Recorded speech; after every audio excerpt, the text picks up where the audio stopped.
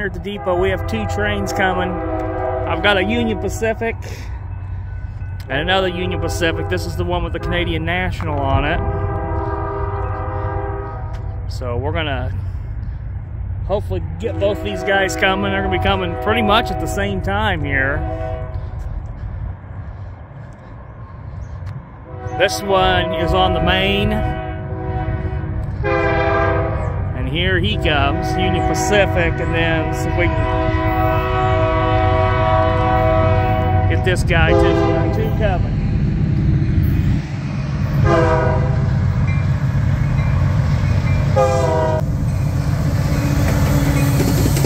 Well,